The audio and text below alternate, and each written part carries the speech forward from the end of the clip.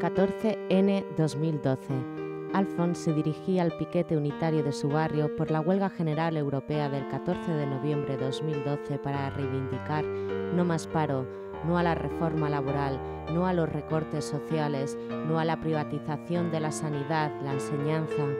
Fue detenido y acusado, entre otras cosas, de supuesta tenencia de explosivos. El propio fiscal ha reconocido que las pruebas efectuadas no han registrado huellas del joven entre los explosivos que supuestamente le fueron sustraídos. Régimen FIES.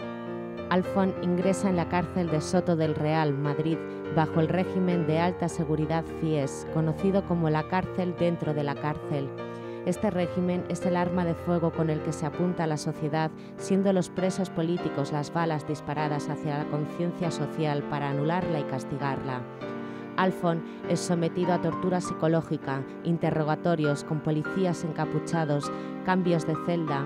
La intención, anular mentalmente a un joven de 21 años de edad comprometido con las causas sociales.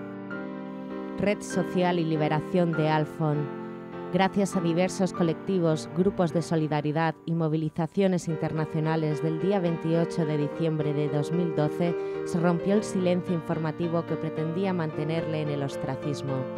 Alfon salió de la cárcel a los 56 días de ingresar, 18S 2014 fecha en que se celebrará el juicio donde se piden cinco años y medio de cárcel por asistir a un piquete de su barrio Vallecas por la huelga general europea del 14 de noviembre de 2012.